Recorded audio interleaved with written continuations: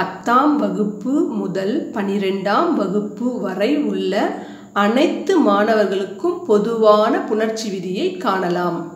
புணர்ச்சி என்றால் இணைதல் என்பது பொருள். இணைதல் அப்படின்னா ஒரு சொல் மற்றொரு சொல்லோடு இணைவதற்கு இலக்கணத்தில் புணர்ச்சி என்று பெயர். இந்த ஒரு சொல் மற்றொரு செல் சொல்லோடு இணைவதை புணர்ச்சின்னு சொல்கிறோம் அந்த ஒரு சொல் அப்படின்றது முதலில் வரக்கூடிய ஒரு சொல் நிலைமொழி என்றும் அதனை தொடர்ந்து வரக்கூடிய மற்றொரு சொல் வருமொழி என்றும் இல இலக்கணத்தில் கூறப்படுகின்றன. அதாவது நிலைமொழி. மொழினா என்ன அப்படின்னா சொல். மொழின்றது ஏற்கனவே நாம் வந்து சொல் அப்படின்ற ஒரு பெயரில் பார்த்துருக்கோம். இந்த மொழியானது நிலையோடு சேரும்போது நிலைத்திருக்கக்கூடிய சொல் வருமொழி அப்படின்னா நிலைமொழியோடு வந்து சேரக்கூடிய சொல் அதை வருமொழி அப்படின்னு சொல்கிறோம் அப்போ நிலைமொழின்றது முதலில் வரக்கூடியது அடுத்தது வரக்கூடியது வருமொழி. அப்போ புணர்ச்சியில் ரொம்ப முக்கியமானது எது அப்படின்னா நிலைமொழியும் வருமொழியும். இப்போ இந்த புணர்ச்சியை ரெண்டு வகையாக பிரிக்கிறோம். ஒன்று இயல்பு புணர்ச்சி ரெண்டு விகார புணர்ச்சி. ஒன்று இயல்பு புணர்ச்சி. இயல்பு புணர்ச்சினா இயல்பாகவே தன் நிலையிலிருந்து மாறாதது. இயல்பாக இருக்கும் தன் நிலையிலிருந்து மாறாமல் இருப்பது தான் எது அப்படின்னா இயல்பு புணர்ச்சி. அதே விகார புணர்ச்சி என்ன அப்படின்னா தன் நிலையிலிருந்து மாற்றம் அடைவது தான் விகாரம். விகாரம் அப்படின்னாலே மாற்றம். தன் நிலையிலிருந்து மாற்றம் அட அடையக்கூடியதை விகார புணர்ச்சி அப்படின்னு சொல்லி சொல்கிறோம் இந்த விகார புணர்ச்சிக்கு சான்று என்ன சொல்லலாம் அப்படின்னா வாழை குட்டல் பழம். இப்போ இதில் வாழைன்றது நிலைமொழி. பழம்ன்றது வருமொழி இந்த இரண்டுக்கும் நடுவில் சேர்த்து எழுதும்போது இப்பு தோன்றுகிறது. அப்போ இந்த இடத்துல புதுசாக ஒரு எழுத்து தோன்றுகிறது. விகாரம்னா மாற்றம் அடைகிறது. அப்போ இதை வந்து விகார புணர்ச்சி அப்படின்னு சொல்லலாம். அடுத்து வந்து இந்த விகார புணர்ச்சியை மூன்று வகைப்படுத்துகிறோம் விகார புணர்ச்சியை மூன்று வகைப்படுத்துகிறோம் தோன்றல் புணர்ச்சி திரிதல் கெடுதல் அப்படின்ட்டு மூணாக பிரிக்கிறோம். இதில் தோன்றல் அப்படின்னு சொன்னால் என்ன? தோன்றல் தோன்றல் புணர்ச்சி திரிதல் புணர்ச்சி கெடுதல் புணர்ச்சி. இதில் தோன்றல்னால் என்ன அப்படின்னு சொன்னால் புதி புதிதாக ஒரு எழுத்து அதாவது நிலைமொழியையும் வருமொழியையும் இணைப்பதற்கு புதிதாக ஒரு எழுத்து தோன்றுவதை தோன்றல் புணர்ச்சி என்று கூறுகின்றோம்.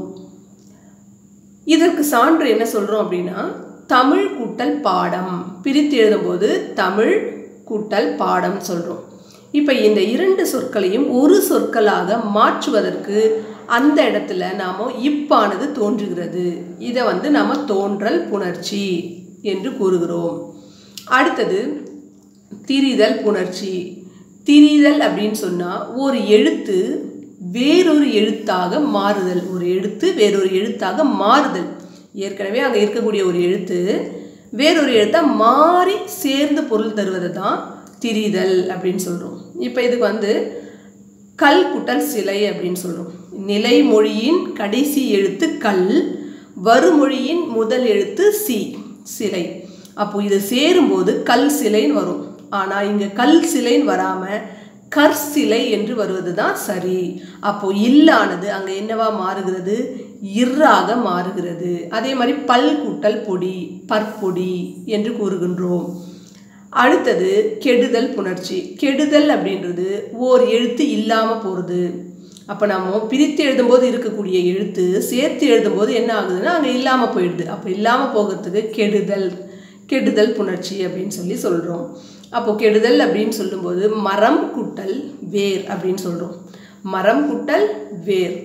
இதை வந்து சேர்த்து எழுதும்போது மரம் மரவேர் அப்படின்னு சொல்கிறோம் அப்போ மரவேர் அப்படின்ற போது அங்கே நடுவில் இருக்கக்கூடிய இம்மானது இல்லாமல் நமக்கு மறவேர் என்று தோன்றுகிறது. இப்போ இந்த புணர்ச்சி விதிகள் பல வகையில் காணப்படுகின்றன. இதில் நம்முடைய பாடப்பகுதிகளில் உள்ள சில புணர்ச்சி விதிகளை காண்போம். அதில் முதா முதலாவதான விதி உடல் மேல் உயிர் வந்து ஒன்றுவது இயல்பே. இது நன்னுள்ள இரநூத்தி நாலாவது பாடலாக சொல்லியிருக்காங்க. இதுக்கு வந்து முதல்ல சான்று.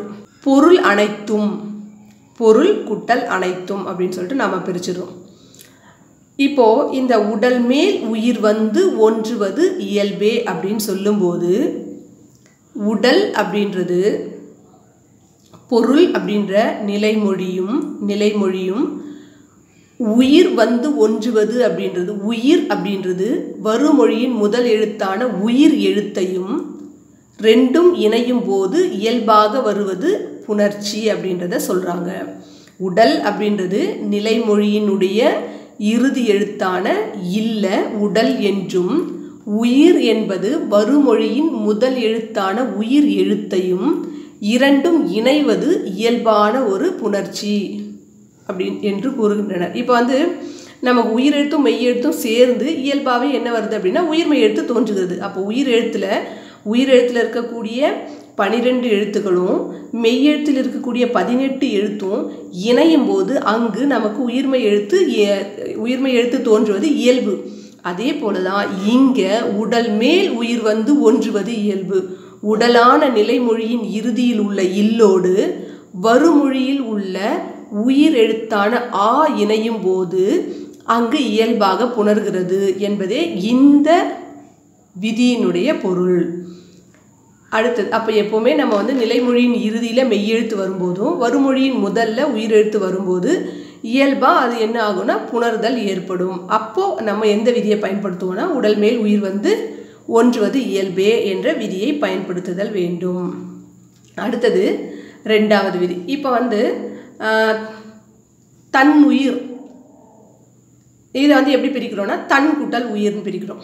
இப்போ தன் உயிர் அப்படின்னு சொல்லும்போது நிலைமொழியினுடைய இறுதி எழுத்து மெய் எழுத்தாக இருக்குது வருமொழியினுடைய முதல் எழுத்து உயிர் எழுத்தாக இருக்குது இப்போ இது மெய்யெழுத்தும் உயிரெழுத்தும் வரும்போது நம்ம உடனே எது ஞாபகம் வரும்?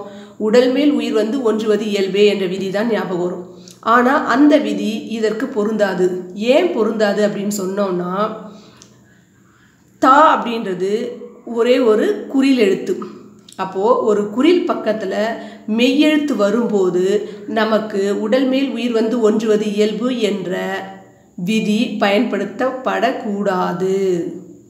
அப்போது இங்கே எந்த விதியை பயன்படுத்தணும் அப்படின்னா தனி குறில் முன் ஒற்று உயிர் வரின் இரட்டும். அப்போ இதுக்கு தனியாக நமக்கு ஒரு விதி இருக்குது என்னென்னா தனி குறில் முன் ஒற்று. அதாவது எப்போவுமே இலக்கணத்தில் முன் அப்படின்றது அதனுடைய பின் வரக்கூடிய எழுத்தை தான் முன் என்ற சொல்லால் குறிப்பிடுவாங்க. அப்போ தனி குரில் முன். தனி குரில் முன் அப்படின்றது தா. தா முன் அப்படின்றது தா பின். தா முன் ஒற்று. தாக்கு முன்னாடி ஒற்று வந்துச்சுன்னா உயிர் வரின் இரட்டும். வருமொழி முதல்ல உயிர் வந்துச்சுன்னா இந்த ஒற்றானது இரட்டும் அப்படின்னா இரண்டு முறை வரும். அப்போது நம்ம இங்கே விதியில் எழுதியிருப்போம் தனிக்குறில் முன் ஒற்று உயிர் வரின் இரட்டும்.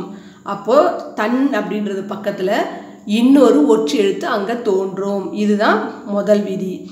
அப்போ இன்னொரு ஒற்றெழுத்து அங்கே தோன்றும் போது ஒரு ஒற்றெழுத்தும் இன்னொரு ஊவும் சேரும்போது அங்கே இயல்பாகவே என்ன ஆகுதுன்னா உடல் மேல் உயிர் வந்து ஒன்றுவது இயல்பே அப்படின்னு சொல்கிறோம் இப்போ இதில் வந்து ஒற்று அப்படின்னு சொல்கிறோம் அந்த ஒற்று அப்படின்னா என்ன அப்படின்னு சொன்னால் மெய் எழுத்துக்களை தான் இங்கே ஒற்று எழுத்து என்று கூறுகின்றனர். புணர்ச்சியில் மெய் எழுத்த ஒற்று என்று கூறுகின்றனர்.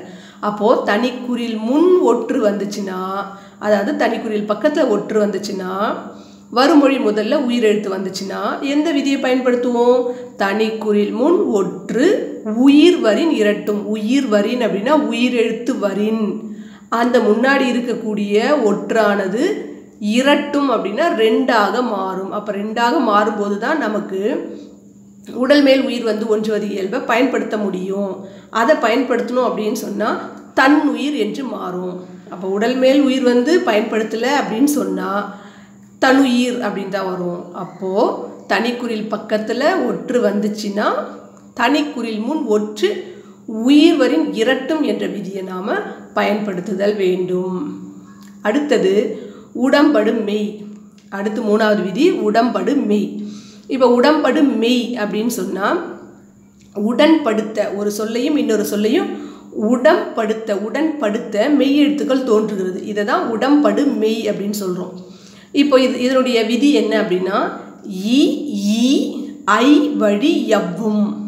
ஈ ஈ ஐ வழி எவ்வும் ஏனைய உயிர் வழி வவ்வும் ஏமுன் இவ்விருமையும் உயிர்வரின் உடம்படு மெய் என்றாகும்.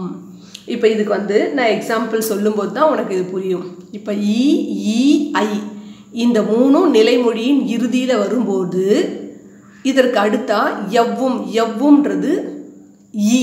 யா மேலே புள்ளி வச்ச எழுத்து தான் ஈ அப்படின்னு சொல்கிறோம் இந்த ஈ தான் எங்கே தோன்றும்னா ஈ ஐ வழி வரும்போது தோன்றும். ஏனைய உயிர் வழி வவ்வும். ஏனைய உயிர் வழி அப்படின்னா ஈ ஈ தவிர்த்து மீதி வரக்கூடிய உயிர் வழி எது தோன்றும் அப்படின்னா இவ் தோன்றும். அதாவது வா இவ் தோன்றும். ஏன்ற ஒரே ஒரு எழுத்து முன்னாடி மட்டும் எது தோன்றுனா ரெண்டுமே தோன்றும். ஈயும் தோன்றும் இவ்வும் தோன்றும். அதற்கு சான்று இப்போ பார்க்கலாம். சான்று பார்த்தோம்னா உனக்கு அது வந்து முழுசாக புரியும். வலி அறியார். வலி குட்டல் அறியார். இப்போ வலி குட்டல் அறியார் நம்ம பிரிச்சிருக்கோம். இப்போ இதில் விதி என்ன வரணும் அப்படின்னு சொன்னால் ஈ ஐ வழி எவ்வும் என்னும் விதிப்படி ஈ தோன்றியது. எப்படி அப்படின்னு சொன்னால் நிலைமொழியினுடைய இறுதி எழுத்து ஈ ஈ ஐ.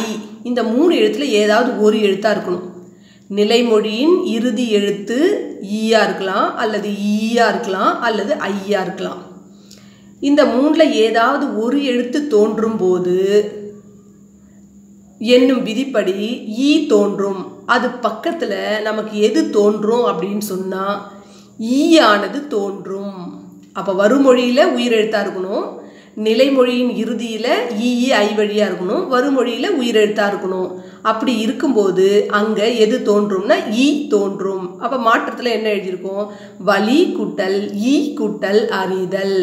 அப்போது வலி ஈ வலி குட்டல் ஈ குட்டல் அறிதல். இப்போ ஈ வரும்போது வருமொழியில் ஆ இருக்குது அப்போ ஈயும் ஆவும். மெய்யும் உயிரும் சேர்வதற்கு என்ன விதியை பயன்படுத்துவோம்? உடல் மேல் உயிர் வந்து ஒன்றுவது இயல்பே என்ற விதியை பயன்படுத்துவோம். அப்போது அதை பயன்படுத்தும் போது நமக்கு வலி அறியார் என்று தோன்றுகிறது. இப்போ இதே மாதிரி தான் நின்ற ஒன்றே நின்ற ஒன்றே. இப்போ இந்த நின்ற குட்டல் ஒன்றே அப்படின்னு பிரிச்சிட்டோம். இப்போ நின்ற அப்படின்னு சொல்லும்போது இந்த இடத்துல வந்து பார்த்தோம்னா நிலைமொழியின் இறுதி எழுத்து என்ன இருக்குது நிலைமொழியின் இறுதி எழுத்து ஆ. வருமொழியினுடைய முதல் எழுத்து என்ன இருக்குது ஓ. இப்போ ஆ இருக்குது இந்த ஆ வரும்பொழுது ரெண்டுமே உயிரெழுத்து. நிலைமொழியினுடைய இறுதியும் உயிரெழுத்து. வருமொழியினுடைய முதல் எழுத்தும் உயிரெழுத்து. உயிரெழுத்தும் உயிரெழுத்தும் சேருமா? சேராது. அப்போ அப்படி வரும்போது நாம் என்ன விதியை பயன்படுத்துவோம்னா ஏனைய உயிர் வழி. ஏற்கனவே நம்ம பார்த்தோம். இ இ ஐ. இந்த மூணு எழுத்தை தவிர்த்து மற்ற உயிரெழுத்துக்கள். மற்ற உயிரெழுத்துக்களில் ஆன்ற எழுத்து அங்கே வந்திருக்கு. அதுதான் இங்கே ஏனைய உயிரெழுத்து ஏனைய உயிர் வழி வவ்வும். அப்போ ஆ வரும்போது அந்த இடத்துல இவ்வானது தோன்றும். இப்போ இது வந்து இஇ இ இ ஐ விட்டுட்டோம்னா ஆ ஆ உ உ ஏ ஓ ஓ. அவு. இது வரைக்கும் எதில் வரும்னா இந்த ஏனைய உயிர் வழி வவ்வும் என்ற விதியில் தோன்றும். அப்போது நின்ற கூட்டல் யூ கூட்டல் ஒன்றே.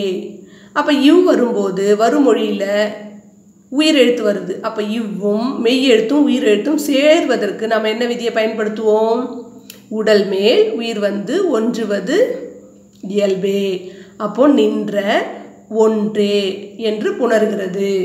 அடுத்தது ஒன்றே எண்ணின் ஒன்றே எண்ணின் ஒன்றே குட்டல் எண்ணின். இப்போ இங்கே வந்து பார்த்தோம்னா ஒன்றே இர் குட்டல் ஏ தான் ரே இல்லையா?